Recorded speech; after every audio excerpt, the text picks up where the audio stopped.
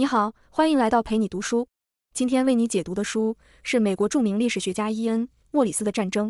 战争和暴力冲突可以说是人类自诞生以来始终难以摆脱的灾难。它不仅牺牲了无数生命，造成了难以统计的物质损失，还频繁让人类文明进步的历程停滞，甚至倒退。由此，人类心中始终有一个难以解决的疑问：既然维持生命和基因的延续是生物的共同本能，人类的文明程度和物质丰富程度也在不断增长，为什么战争和暴力冲突依旧存在？战争虽然带来破坏与灾难，却带来了意想不到的好处，也就是推动了国家的诞生与技术的发展，从而反过来保证了和平，使人类逐步远离暴力与杀戮。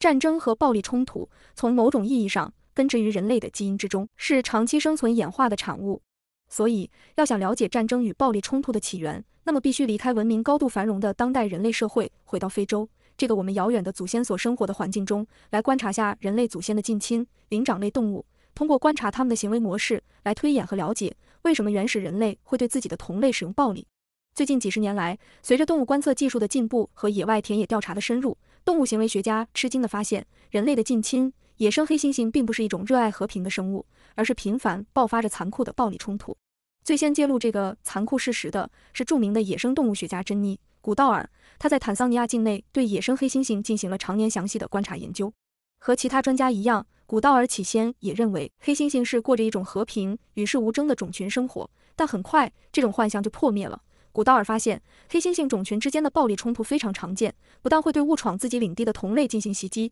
更会越过领地边界对其他种群进行偷袭。古道尔观察到，从1974年到1977年，一个代号卡萨凯拉的黑猩猩种群开始频繁和附近领地的卡哈马种群爆发暴力冲突。卡萨凯拉种群的成年雄性黑猩猩开始对卡哈马种群的雄性进行有组织、有预谋的袭击和谋杀。第一次袭击发生在1974年1月7日，卡萨凯拉种群的几只雄性偷偷越过了自己的领地边界，进入了卡哈马种群的领地，并围住了一头代号戈蒂的雄性黑猩猩，用爪子、尖牙和石块杀死了它。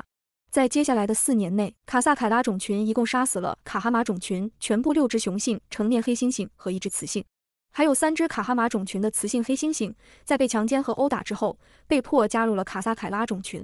最终，卡哈马种群宣布灭绝，领地被卡萨凯拉种群全部吞并。由于这场血腥的杀戮发生在坦桑尼亚的贡贝国家公园，所以动物学家们将其命名为贡贝战争。不过，有些动物学家认为贡贝战争是一个意外。有的说是科学家频繁进入黑猩猩栖息地，为了亲近黑猩猩，给他们喂食香蕉，才让原本爱好和平的黑猩猩变得暴力。不过，随着越来越多黑猩猩种群之间的暴力冲突被发现，动物学家和人类学家才不得不承认，可能灵长类的基因里就是有一种与生俱来的残暴天性。以刚才提到的黑猩猩卡萨凯拉种群为例，在十八年中，它们的领地面积扩大了三倍，然后每个雌性怀孕的间隔年份从六年缩短到了四年。此外，一些人类学家曾经假设是人类频繁的活动压缩了黑猩猩的生存空间，造成了食物短缺，进而引发了暴力冲突。但观察下来，似乎不是这样。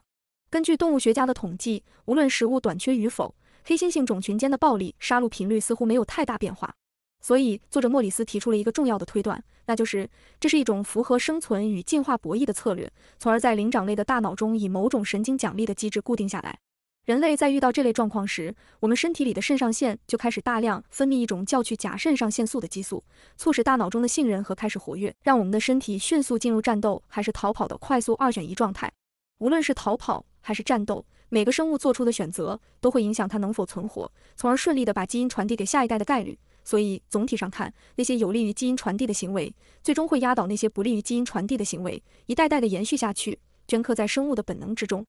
在公元前一万到公元前五千年之间，人类逐渐学会了种植作物，尤其是在欧亚大陆位于北纬二十度至三十五度之间的部分，以及北纬十五度到二十度的美洲大陆。这个地带被作者莫里斯称为幸运纬度带，因为这里土地质量高，气候宜人，而且在已知的五十六种值得引种驯化、种子在十毫克以上的野生植物里，有五十种分布在这个所谓的幸运纬度带上。同样，在人类能够驯养的十四种体重超过四十五公斤的哺乳动物里，有九种也分布在这里。农业和畜牧养殖业的诞生，给早期人类带来的好处是不言而喻的，那就是可以获得持续而定量的食物供给。虽然战争的规模在持续扩大，人类付出的生命代价总数在上升，但好消息是，全球人口死于战争和暴力冲突的比例却在逐渐下降。这是为什么呢？首先，这是因为农业的普及让人类进入了定居状态，不仅全球人类总量在稳步上升，各个人类社群部落之间的地理空间距离也缩小了。如果贸然发动战争，难保敌人不会回来报复。狩猎时期的人类搬家避难比较方便，而到了农业时代，跑路的时候就会比较麻烦。你的田地、房子、粮仓、牲畜，各种坛坛罐罐带走很麻烦，留下来送给敌人又很心疼，所以大家对待战争的态度就越来越谨慎。其次，大规模农业和建设的普及，让劳动力变得越来越珍贵。即使一个人类部落或者邦国征服了对手，也会发现，比起杀戮，让对手臣服于自己，保留其生命。换来他们长期的服务和生产是更为有利的事。与之形成鲜明对比的是，在幸运纬度带之外的区域，规模更小，但更为血腥的杀戮依旧存在。所以，莫里斯总结说，人类逐渐远离血腥杀戮的首要推动力，就是和平共处与合作带来的收益在逐渐上升。所以，莫里斯总结说，农业的出现和普及是带来和平、让人类减少杀戮的第一个推力。让人类逐渐远离血腥杀戮的第二个推力是技术进步，它让武器杀伤力越来越大，也变得越来越昂贵，从而让发动战争的风险性越来越高，但同时带来的回报没有显著增长。作者用恢宏的笔法和独辟蹊径的视角，为我们带来了一部截然不同的战争史，从人类学、社会经济学等多种角度，解释了战争与暴力冲突的起源、演化趋势以及对人类文明的塑造与破坏作用。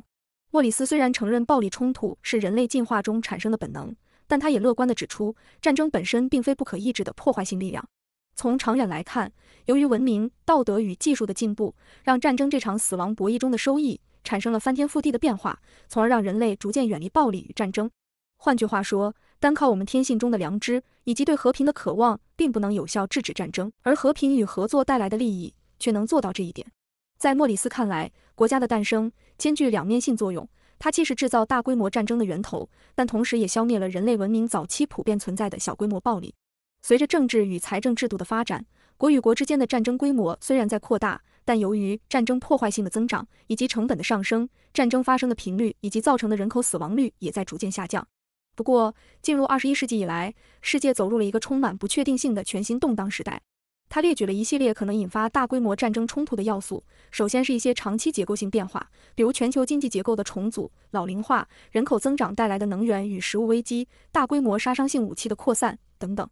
除此之外，还有一系列难以预料的黑天鹅事件可能会摧毁人类来之不易的和平，比如气候变化、全新的大规模流行性疾病等等。另外，随着人工智能自动控制技术的迅猛进步，各种武器的控制和使用逐渐呈现出无人化的趋势。莫里斯认为。这次新技术革命很可能改变人类十万年以来的战争与冲突法则，所以在这样的灾难到来之前，人类必须首先反思与修改自己关于战争和冲突的基本理论与认知。以上就是这本书的主要内容。感谢收听陪你读书，我们下期再见。